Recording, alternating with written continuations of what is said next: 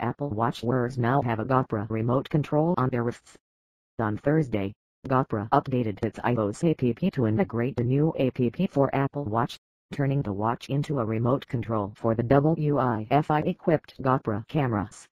You can now use the Apple Watch app to start or stop recording, adjust the settings on the GoPro, and tap to add a highlight basically a bookmark to a certain section of video to make it easier to find in the editing room. The new Apple Watch app also acts as a remote viewfinder to frame your shots before recording, and you can add a complication, or shortcut, on the face of your watch to hit record and capture those easy-to-miss action shots. GoPro's Apple Watch app was first demonstrated during Apple's September event. In addition to Apple Watch integration, the update also brought new features to the iOS app like scrolling through video to find and save a specific frame as a still image. GoPro Files app can be used to start or stop recording, transfer video files, and adjust the settings.